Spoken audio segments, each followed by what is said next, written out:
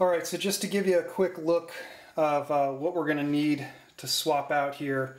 Um, these two components have to do with uh, the case feeder. So we're going to have to swap those out because they're a different circumference. This number 5 is specific for the 9 millimeter shells. Um, you should note though that while 9 millimeter and 223 are very close in size, the 223 uses a number 3 and the 9 millimeter uses a number 5. That's also indicated on the shell plate itself. It'll have a 5 on it just in case you guys uh, get confused. And then this is the small primer wheel um, and then you'll use this little wrench here to kind of fashion it to the bottom. So I'm going to switch the camera angle so that we can get a better look at removing the uh, primer. What we're going to go ahead and do is from the top portion I'm going to remove the primer alarm, uh, unscrew the top part here, you don't need that, and then I'm going to pull the tube out So we've taken the tube out. Um, and then the only screws you want to loosen here are these guys. We actually have to take them all the way out. If you take any of the other ones out on here, you're just asking for trouble and making more work for yourself that's unnecessary. So um, these black ones are the only ones that actually hold the primer housing on and um, put those off to the side. So once this lifts off, there's a couple things we're going to do here. I'm going to set that off to the side for a second. And this uh, little portion here, um, I've already cleaned once, but what I'm going to do here is I'm going to wipe this completely out. Now there's grease in here, obviously for a good reason, because that plate needs to slide on there freely, what I'm going to well, what I'm going to do is uh, go ahead and just put some more grease on it here. Some fresh stuff. Not a whole lot, but just enough to uh, get it going now. There is another part here, this guy, which is for the actual priming portion. This is spring loaded. You see it's pretty hard to actuate. But this is the small one. The large one is actually in here. So in this unfortunate case, we've actually made a little more work for ourselves by having the uh, live primer chute in here. But I'm going to try and do it without removing it if I can. It unscrews from the bottom and I'm not sure if I'm going to be able to get in there without removing this. You know what? I'm going to go ahead and remove it anyways. It's just going to make my life harder by trying to work around it. So, like I said, this extra primer chute is not a uh, actual Dillon piece. This is an upgrade I put on here. And it's a much needed upgrade, but now you'll see underneath here, it's, uh, let me get, give you a better look at it because this is kind of an important piece to know about. But you see here's the, the new one and here is the old one right under there. So I go ahead and loosen that guy. Mm. Alright, so I was able to loosen it with the crescent wrench. Once it breaks free, just back it out. And there we go. So, large, small, so we're going to go with small. So just Put it in there like so. Just like everything else, it's hard to get lined up at first, but once you get it going,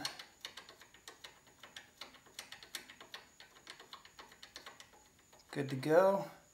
Now this isn't adjustable at all. You can't really adjust the seating depth. All you can really do is try to ram the uh, handle down harder. So now that we've got that squared away, let's go ahead and take a look at the um, bottom of the uh, primer housing here. So what we've got here is the actual plate and you see the little arm here. So we're going to actually take this screw completely out and um, then it'll we'll be able to uh, get this guy out and I'll show you how to do that. Um, just make sure that you have the correct Allen wrench. Okay, so obviously this is no no tricky part. Just take this screw out. Now what you're going to want to know here is that from the top here, this is actually a little bit spring loaded. So when you push your, kind of move it to the side, push your finger up and it releases the tension a little bit and then this guy pulls right out. So there's a couple things to notice here. Um, when we take this guy off, there is a ball bearing and a spring under here. I'm going to take these out because I don't want to lose them. So it's easier to just take them out and put them off to the side. Now the reason I did that is because the uh, primer tubes here, make sure I get the right one, the small one, it's a lot easier to do this when you have it off because see how it lines up lines up there? You want it to line up in there and it's usually easier to do that when the uh, when the uh, bottom part is off. So you just get that lined up and uh, then we can just go ahead and refasten the uh, this guy here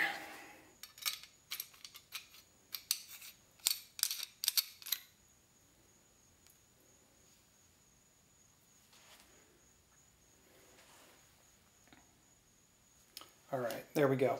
So now going back to the shell plate, um, the primer plate. So the small one is marked with an S on here just to make sure. And it doesn't matter which way um, it goes, it's the same on both sides.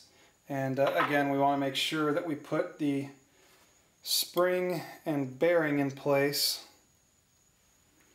Just kind of drop that down in there and uh, put the ball bearing in place, put this over the top of it and make sure that the ball bearing catches in there. Then we're going to push from the bottom, put a little force on there, then you can slide that into place and then slide it on in so that the screw hole matches up. And uh, then we just screw this guy back in. And uh, just retighten it. okay, so now we can drop this guy back down, put it in place. I'm actually going to uh, attach this live primer chute from the bottom because it's easier to do with the uh, with nothing on.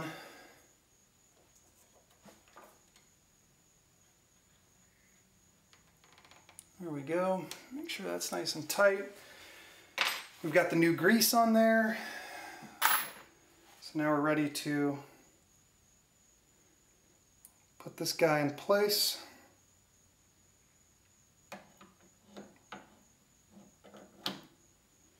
And what you want to check here is push the handle forward give you a different look at this. You want to make sure here, as you see, make sure that that's coming up to feed the uh, seat the primer. I'm going to make sure that that works good and then um, just make sure that everything's working as expected. Then we're going to go ahead and add our screws back in, tighten this guy up. You want to pay careful attention not to uh, disturb any of these springs here. There's two springs on each. There's one here and then there's another one uh, back here. You don't want to mess with either one of those because they're under a good amount of tension and they're very hard to get back into position. Um, so it's just something to be aware of. And uh, that's about it for the primer setup. Um, last thing I'm going to do here is make sure that yep that it cycles through and it does so now we're ready to uh, move on okay so what we're going to do now is uh, I'm going to deal with this this tube here so all this does is just pull right out so you've got two pieces here you've got this long piece that goes directly to the tube then you've got a smaller piece here that goes uh, into the little arm which feeds those. Obviously those will both need to be swapped out. They're color coded. I put this on here because I don't swap this out usually enough to remember. Um, but some of them are the same size. Uh, the 223 one is a white one. So you'll want to, I should have put this in first. Put this guy down in there, it only fits one way. And then this has a little notch on it, obviously, so this only fits one way as well. So put that down in there, get your tube snugged up in there, and that's pretty much it for that part. Now, this next part, I'm going to zoom in a little bit here so you can get a good look at what I'm talking about. But it's this plate here. Now this is under tension, so all you have to do is pull this all the way back. This lifts right out. Now there's some grease in here too, so make sure not to uh, remove that because that helps in feeding. And that's pretty much it. So as the shells come down, they're going to come down this black part here and then go into here and then the spring-loaded part pushes them into place. Um, so that's pretty much all you have to worry about with that.